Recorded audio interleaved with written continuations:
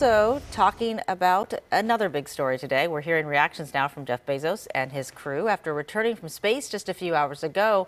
We do have James Torres monitoring that news conference with what these new astronauts have to say about their flight. I imagine they're pretty excited, James. Yeah, Claudine, they sure are. Those astronauts went about six kilometers deep into space with a flight time of about 10 minutes.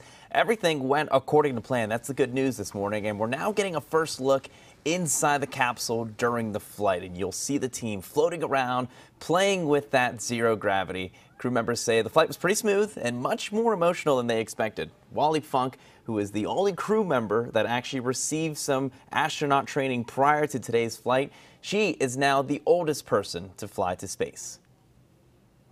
When I went up this morning, the noise wasn't quite as bad, and we went right on up, and I saw darkness. I thought I was going to see the world, but we weren't quite high enough, and I felt great.